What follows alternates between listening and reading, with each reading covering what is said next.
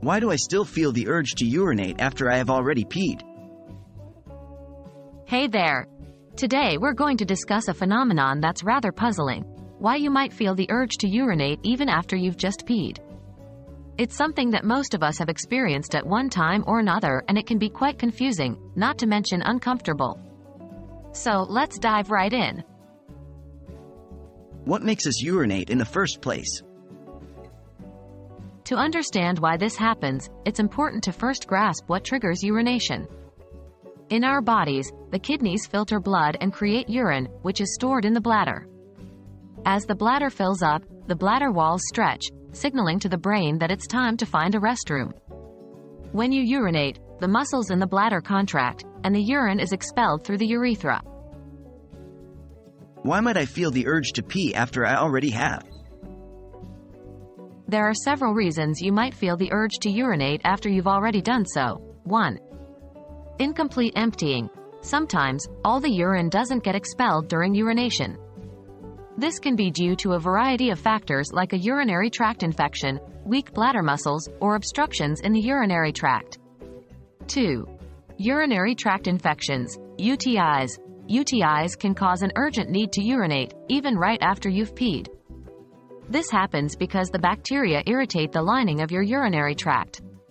3. Overactive bladder. OAB.